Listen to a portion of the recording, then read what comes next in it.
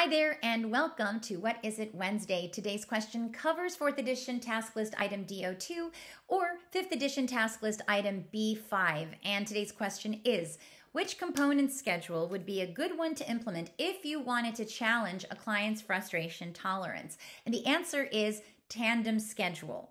So I know I know the question presents a bit mentalistic, and maybe an argument could be made for other compound schedules being frustrating, but I wanted to really address how super frustrating the tandem schedule can be and how that detail can make it easier to understand that schedule. So please accept this explanation as tongue in cheek, and if it helps your grasp, that's all I care about.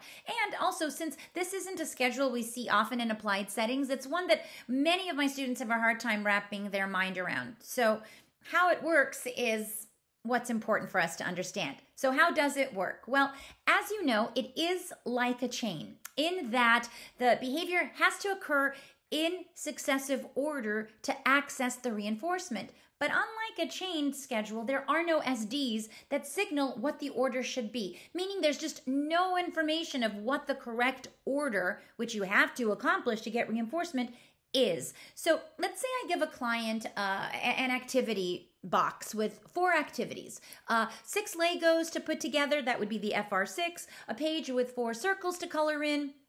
FR4, a Connect 4 board with six coins to insert, and a lacing board with four holes to lace through. And then I tell them they have to complete all four activities correctly and in the correct order but I don't tell them anything about what the correct order is. There's no signals, nothing. They don't know what the order is. So the client is going to attempt a certain order of completing the activities, but not access the reinforcement. And then another order of completing the activities and not access the reinforcement, and so on and so forth until they finally do get the intended order and contact the reinforcement. So you could see how this could be incredibly frustrating and would certainly require the ability to manage one's own frustration when things don't go as planned or aren't as easy as you may hope.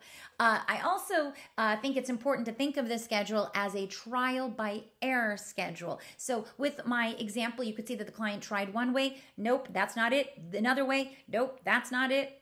Nope, that's not it until finally they've gotten the correct order. I hope that helps uh, with this very confusing schedule, uh, and I'll see you guys next time.